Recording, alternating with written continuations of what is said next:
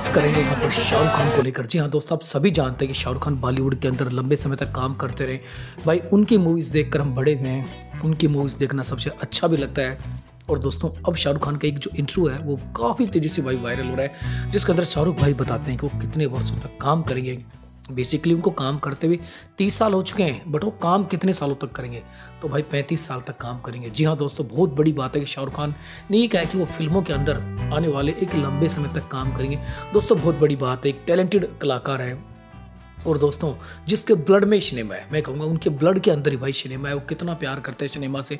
उन्होंने कहा कि वो अंतिम सांस तक भाई बेसिकली सिनेमा के अंदर बने रहना चाहते हैं मूवीज़ के अंदर बने रहना चाहते हैं बॉलीवुड के अंदर बने रहना चाहते हैं और पैंतीस सालों तक भाई वो काम करना चाहते हैं। वो जेम्स बॉन्ड है। जी हाँ दोस्तों, उन्होंने जेम्स बॉन्ड अपने आप कहा है कि वो जेम्स बॉन्ड के करेक्टर को निभाना चाहते हैं। दोस्तों, आपको पता है कि शाहरुख खान अभी हाल ही के अंदर सऊदी गए थे और वहाँ पर पता है कि उनका इंटरव्यू है, जो काफ़ी तेज़ी से भाई वायरल हो रहा है। और दोस्तों, आपको पता है 2023 शाहरुख खान के लिए कितना बड़ा साल रहा जब उनकी तीन फ़िल्में बेसिकली आपको पता है रिलीज़ हुई थी आप जानते हैं पठान भाई जिस कर सकता है?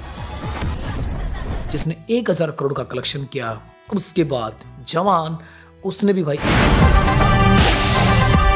एक हज़ार करोड़ का कलेक्शन किया उसके बाद डांकी जिसने 500 करोड़ का कलेक्शन किया। तो 2023 स्पेशल स्पेशल शाहरुख खान के लाइफ में एक ऐसा साल है, एक ऐसा साल है जिसको शाहरुख भाई कभी नहीं भूलना चाहेंगे, ये उन्होंने कहा है। और बेसिकली उन्होंने ये भी कहा है कि उनकी जो फ़िल्में थी बेसिकली कहीं ना कहीं उनसे मिस्टेक हो रही थी।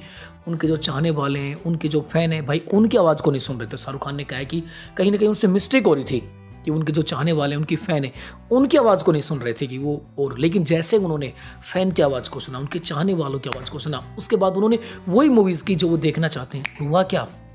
एक हज़ार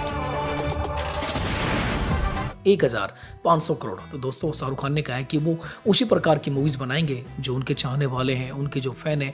भाई, वो उनको पसंद करते हैं। तो सबसे मेन बात उन्होंने ये कह दी। बाकी उन्होंने ये भी कहा कि वो चार साल तक भाई बॉलीवुड तक दूर रहे थे, उसका उन्हें दुख है कि उन्होंने चार साल बॉलीवुड से दूर रहे। बट उसमें कोरोना काल भी आ गया था और शाहरुख खान की जो मूवी थी, उस समय ज़ीरो जो फ्लॉप हो गई थी और एक फ़िल्म और आई थी उसी समय जो फ्लॉप हो गई थी बेसिकली जिसकी वजह से शाहरुख खान ने छोटा सा ब्रेक लिया था और अपने काम को देखा था भाई कहाँ उनसे प्रॉब्लम हो रही है। तो इसी दौरान उन्होंने देखा कि वो, अब उन्होंने देखा कि भाई दर्शक क्या चाहते हैं, उनके चाहने वाले क्या चाहते हैं, फिर उन्होंने उसी प्रकार का काम करना शुरू कर दिया। अब सभी जानते हैं कि शाहरुख खान बॉलीवुड के सबसे सबसे टैलेंटेड कलाकार हैं। जी हाँ दोस्तों, मैं तो उनको सबसे शार्प माइंड बोलता हूँ, सबसे मोर मोर टैलेंटेड हैं।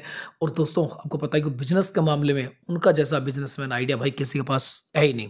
दोस्तों, इसलिए उन्हें उन्हें आपको पता है कि एक्टर एंड बिजनेसमैन भी कहा जाता है यानी वो उनके पास बिज़नेस को लेकर मोर मोर आइडियाज़ होते हैं। जी हाँ दोस्तों, सबसे clever clever actor Shahrukh Khan है। ये उन्हें पता है कि किस प्रकार बिज़नेस करना है, किस प्रकार फ़िल्में चलाई चलानी है, किस प्रकार फ़िल्मों का प्रमोशन करना होता है। ये उनकी स्ट्रेटजी होती है। तो बेसिकली इन सब चीज़ों को फॉलो कर कर ही शाहरुख खान आज बॉलीवुड के सबसे रईस कलाकार हैं।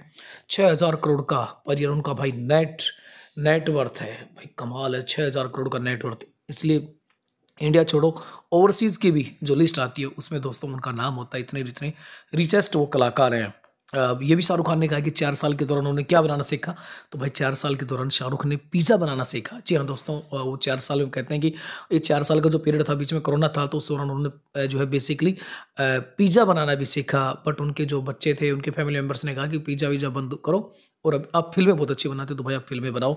तो शाहरुख खान ने अपना एक्सपीरियंस शेयर किया है। Basically Shahrukh Khan more talented हैं और इतने सारे उनके चाहने वाले हैं और इतने सारे लोग उनसे प्यार करते हैं, इतने सारे लोग उनको मोटिव और सबसे अच्छी बात, भाई आप किसी से बात कर लो, शाहरुख खान के नेचर की, उनके गुड मैनर्स की, उनकी बात करने के तरीके की, उनके काम करने के तरीके की वर्किंग स्टाइल की, दोस्तों हर आदमी उनकी फ़ैन है यार, यही तो बंदे का कमाल है। आप किसी का इंटरव्यू ले लो, किसी भी सेलिब्रिटी से सुन लो, वो एक बात कहेंगे, शाहरुख खान जैसा कोई नहीं है। तो यार जब इतने लोग कह रहे हैं कि शाहरुख खान जैसा कोई नहीं है तो ये मान लिए उस बंदे के अंदर कुछ तो है भाई।